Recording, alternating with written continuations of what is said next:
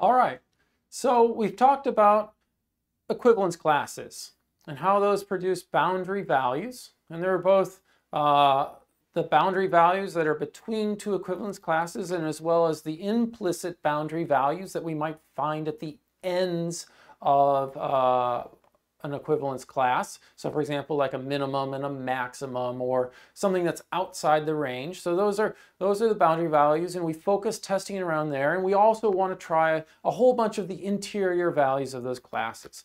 And that's a good way to help us think about how we're going to find bugs in the code. Now, another way that's helpful for us to think about where we might have bugs and how can we come up with appropriate test cases is to think about and talk about base, edge, and corner cases, okay?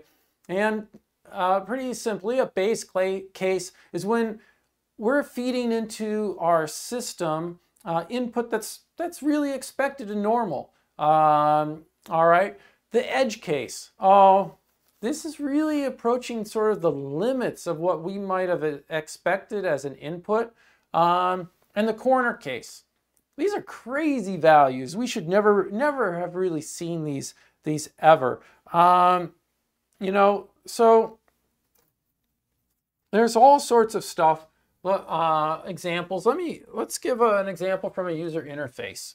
Uh, so let's say you're working, uh, you've got an e-commerce site, and so, um, you know, we've got a user interface, e-commerce, that's some sort of, uh, you know, shopping cart system. Um, all right, so let's say we have a shopping cart. And so the user, you know, oh yeah, click to add to shopping cart. Great. Um, so base case, you know, user adds a few items. That's what we expect. Eh, a couple items in there. No, I don't know, some reasonable number into your shopping cart. Um,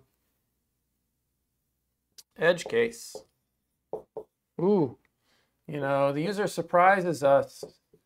Um,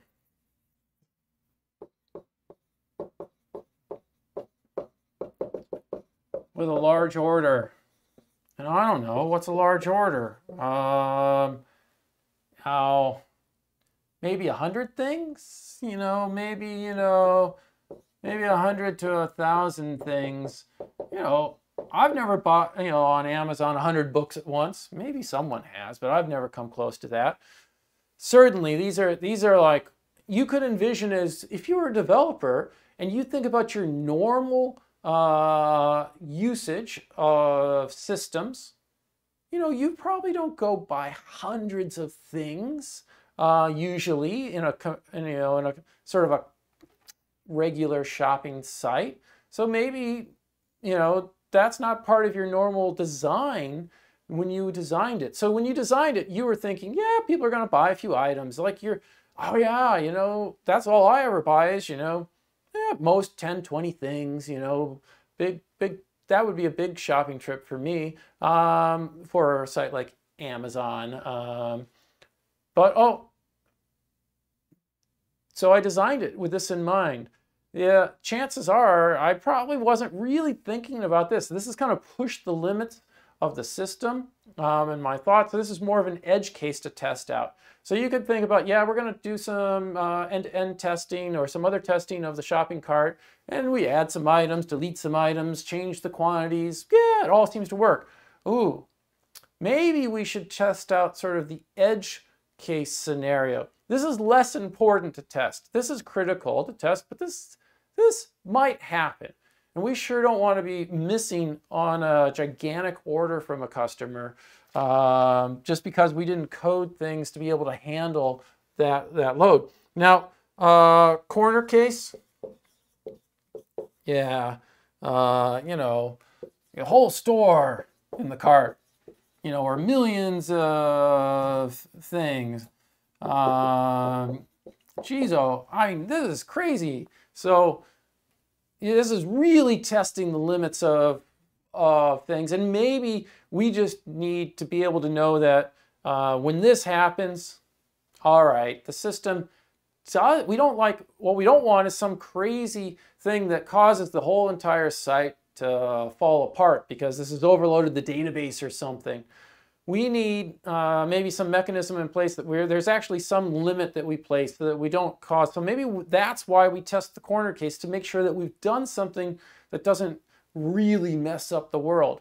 And so some, you know, this is just a shopping cart. There can be lots of things where we can think about think about this. Um, you know, we can think about when we have a form for a new user to create an account. Well, what's what sort of you know length of names?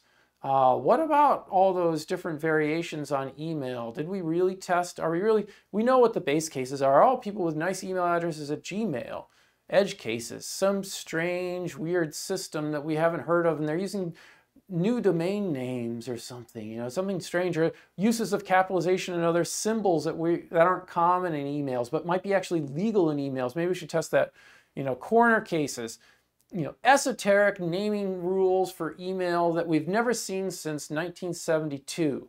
Um, you know, no one has an email address like that anymore, but it's still legal should we really, you know, are we going to test for that and, and, and catch that? You know, the, there's all sorts of ways, but this is a way for you to kind of think about the, the test cases that you're going to develop in addition to thinking about uh, equivalence classes.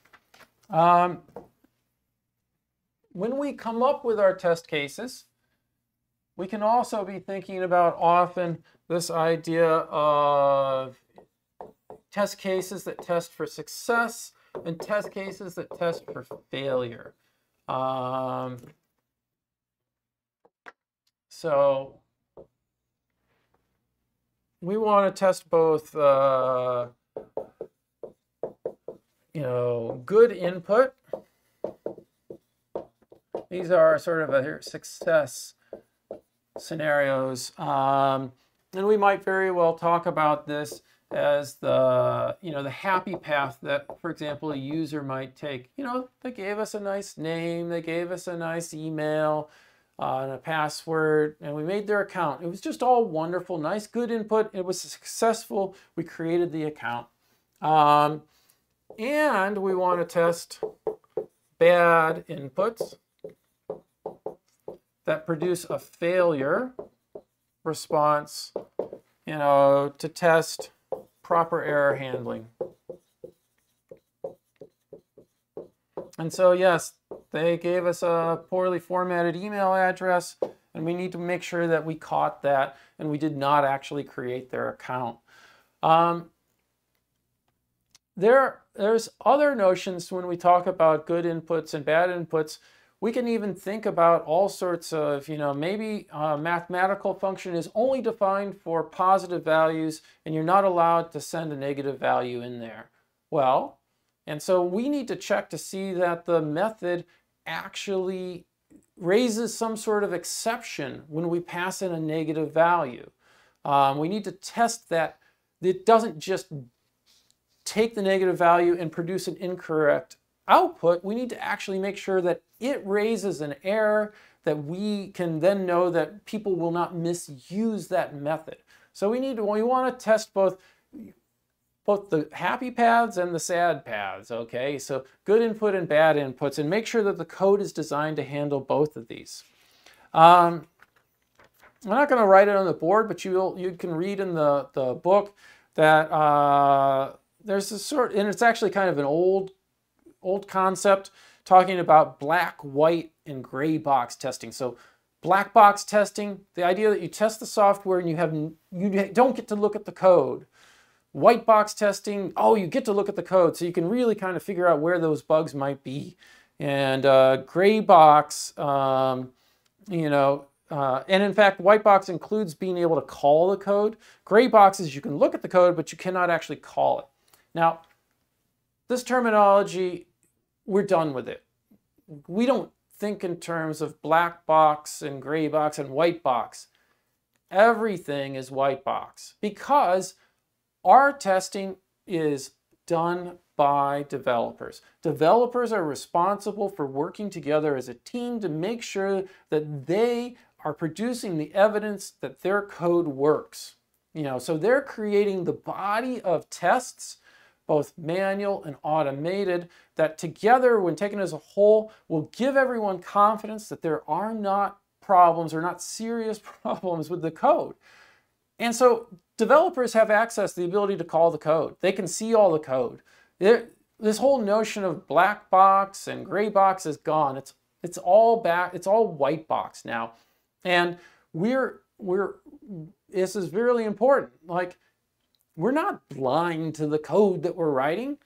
We're actively engaging with it and looking at it and thinking, hmm, will I have done that right? And I know what I tried to do and what I wanted to do, and we're going to test for it.